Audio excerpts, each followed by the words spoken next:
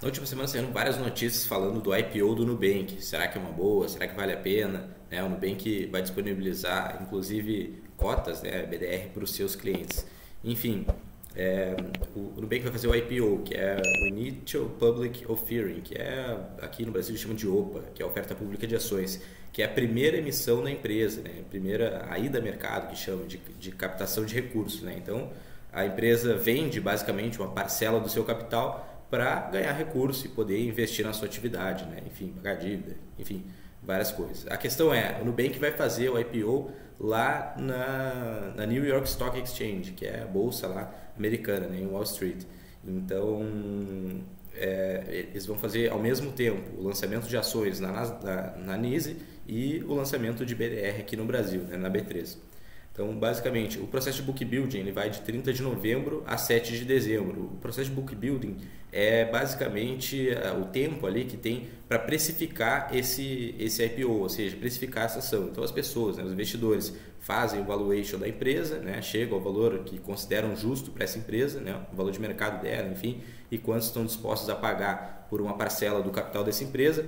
E, e aí, lá no dia no dia 8 de dezembro vai, ser, vai ocorrer a fixação dos preços, né? ou seja, vai chegar no consenso do, do pessoal que, quiser, que quis investir, enfim, a demanda que teve pelos papéis, vai chegar na fixação do preço né? e vai ser lançada aí o, a negociação das ações no dia 9 de dezembro. E aí esse preço começa a variar, né? basicamente.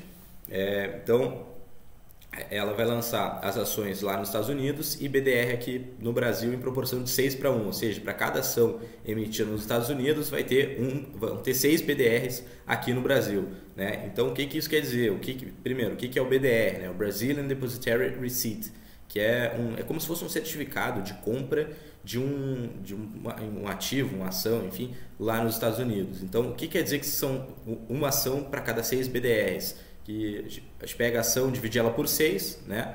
É, essa ação, algum órgão, enfim, alguma empresa, banco, é, uma empresa de investimento basicamente, ele compra a ação, guarda essa ação e emite os certificados, né? emite o, o, BDR aqui no Brasil. Então a pessoa que comprou um BDR, ela tem um sexto da ação lá nos Estados Unidos. Né? Essa ação, o BDR não é ação, ela é um certificado de, enfim, um certificado de compra ali, um negócio que vale um sexto da ação, certo? Então não é ação propriamente dita, mas ela, ela é como se fosse lastreada na ação de verdade. A ação está lá custodiada por algum banco, alguma empresa de investimentos, né? Basicamente. Então é isso. Uma ação nos Estados Unidos vai equivaler a seis BDRs aqui no Brasil, né? na bolsa brasileira. Então vai estar tá sendo negociado simultaneamente isso, tá bom? É, então a estimativa, né? O, a, o Nubank largou um prospecto de mil, mais de 1.300 páginas e eles estão estimando que o preço né, da BDR fique entre 9,35 e 10,29 reais, ou seja, oscila nessa margem. Lógico que pode ficar acima disso, abaixo disso, depende da precificação que tiver lá nos Estados Unidos. E o preço da ação fique entre 10 dólares e 11 dólares, ou seja, fique nessa margem também. Mas lógico, isso é estimativa do próprio Nubank, não quer dizer que vá se concretizar nesse preço. Pode ficar muito acima disso, pode ficar muito abaixo disso, né? Depende de como os investidores vão lidar né? com com esse, como que vão é, fazer o processo de valuation dessa empresa para ver se vale a pena ou não, se vale tudo isso ou não, né? Então, o valor de mercado, pelas estimativas e as notícias que têm saído, é que pode chegar próximo de 51 bilhões de dólares. Né? Isso dá aproximadamente 250 bilhões de reais. É, para você ter uma ideia, isso é um valor bem alto, né? maior que Itaú, maior que Bradesco, que são os grandes bancos do Brasil, né? e maior que a XP também, que fez o IPO lá em 2019. Né? É, que são esses três também são listados na New York Stock Exchange. É, então, com isso, o banco espera captar 21 bilhões de reais que serão destinados a quatro. Então, a, a ideia né, que, sejam, que seja 25% desse recurso é, destinado a capital de giro, 25% em despesas operacionais, 25% em despesas de capital, né, o CAPEX, que chama para quem é o pessoal do mercado, quem analisa empresas, e, hum, e mais 25% em investimentos e potenciais aquisições. Né? Então, esses dados estão lá no, no prospecto que o Nubank lançou.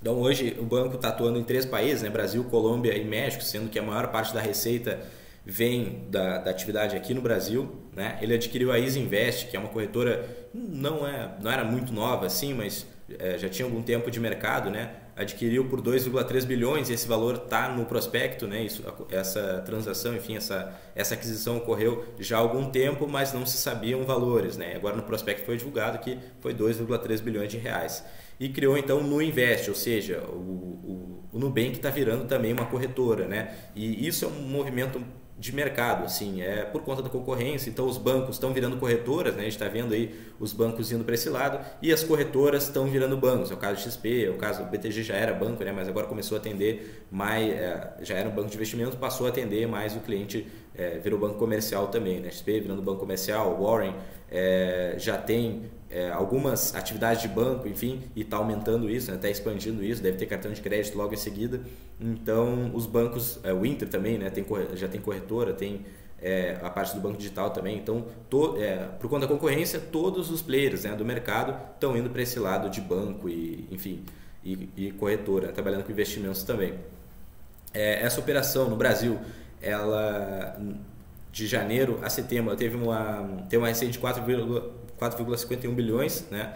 Aqui, agora em 2021, para ter uma ideia, o Itaú teve um lucro né, de 18 bilhões no ano passado, ou seja, receita muito maior do que isso, né?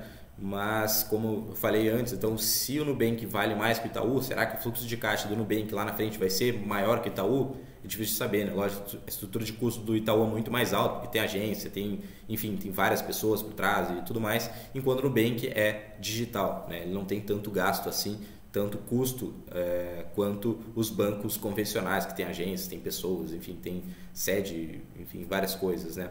É, e por isso, então, o Nubank tem um grande potencial de escala, né? ou seja, ele consegue expandir sua operação para qualquer país, para qualquer lugar do mundo, né? só replicando o modelo que tem, que usa aqui no Brasil, já está na Colômbia, está no México, é, já está, se não me engano, com escritório na Argentina, então estão esperando melhorar a situação econômica lá para expandir é, a atividade na Argentina também, basicamente. Né? Então, é um banco que tem um grande potencial.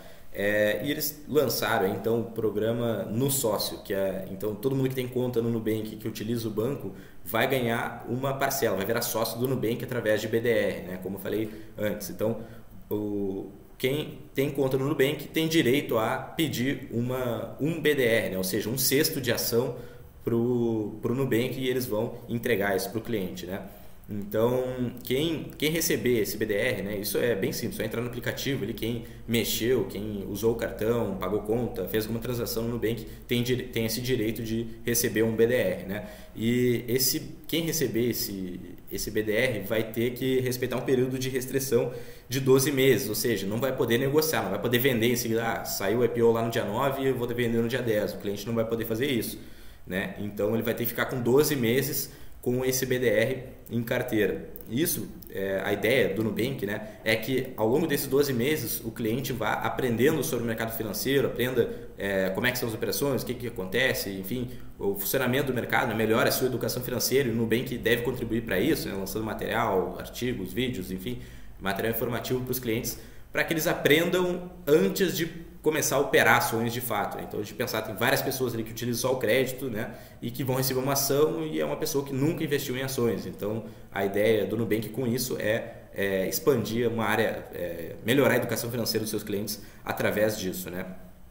Então basicamente, mas afinal, vale a pena é, pegar um banco no, no IPO, pegar, é, investir em IPO, né? Então é um risco relativamente elevado, porque é muito difícil saber se o IPO vai ocorrer num preço justo, né? num preço que vale mesmo o banco, enfim, que ele pode, ele pode ser feito um IPO muito alto ou muito baixo, né? um valor muito baixo. Então, é muito complicado de saber né? se vai valer a pena ou não pegar esse banco num, nesse momento. Né? É, Para você ter uma ideia, mais da metade dos IPOs que ocorreram aqui no Brasil em, em 2021 estão no negativo. Tem ações que foram lançadas, fizeram o IPO, foi lançado lá preço X e hoje está valendo X menos 60%, menos 50%, ou seja, uma grande queda aí de quem pegou esse lançamento no IPO. Lógico, a outra metade das empresas está no, tá no positivo, ou seja, ela foi lançada a um preço mais baixo, teoricamente, do que o mercado acredita que seja o valor dela. Né? a gente pegar a própria XP, por exemplo, que fez o IPO lá na NIS em 2019, hoje ela está cerca de 20% abaixo do valor que foi lançado. Ou seja, o investidor que comprou no IPO, a XP Investimentos lá atrás, hoje ele está com 20% é, a menos do seu valor, né? Lógico, se vender vai ter prejuízo, não vender vai estar tá lá, né? vai estar tá investindo no longo prazo. É, então, é muito difícil de saber qual é o preço que vai ser lançado, se o preço vai estar certo, vai estar dentro do que vale realmente a empresa ou não, né? Então, só vai saber isso quando começar as negociações, se vai convergir para baixo, vai convergir para cima, vai aumentar o preço, enfim, o que, que pode acontecer, né? Eu, particularmente, prefiro ficar fora de qualquer lançamento público de ações, de fundos imobiliários, de qualquer coisa, por, justamente por isso, porque uma informa, a informação, eu acho que é mais relevante do mercado é o preço, é o que o mercado está vendo daquela empresa viu ou vê, enfim, lá atrás, né? Então isso é um é considerado, acho que a informação mais relevante, né? Além, lógico, dos informativos da empresa, do balanço, do, da DRE, enfim, dos informativos, né? Dos demonstrativos financeiros.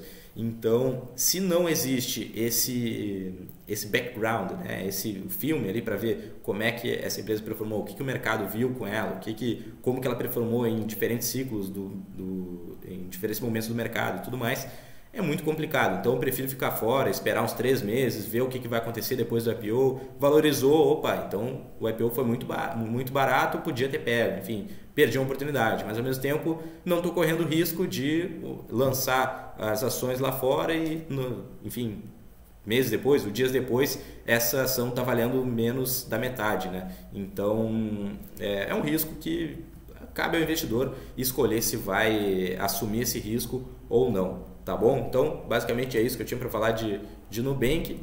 Quem tiver alguma dúvida, procure aí, me procure aí, procure a gente, né, para conversar, tá certo?